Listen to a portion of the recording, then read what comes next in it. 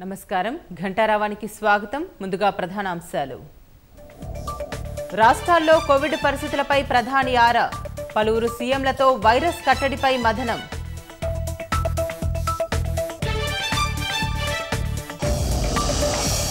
Corona వ్యాప్తితో ఆంక్షలు పొడిగిస్తున్న పలు రాష్ట్రాలు. లాక్డౌన్ సత్ఫలితాలిస్తోందని కేజ్రీవాల్ వెల్లడి.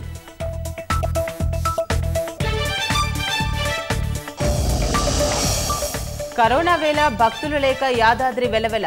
బోసిపోయిన క్యూ లైన్లు లడ్డూ ప్రసాద కౌంటర్లు.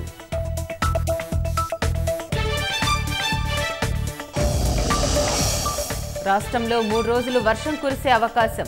ఎల్లుండి వడగండ్లు పడతాయన్న వాతావరణ శాఖ.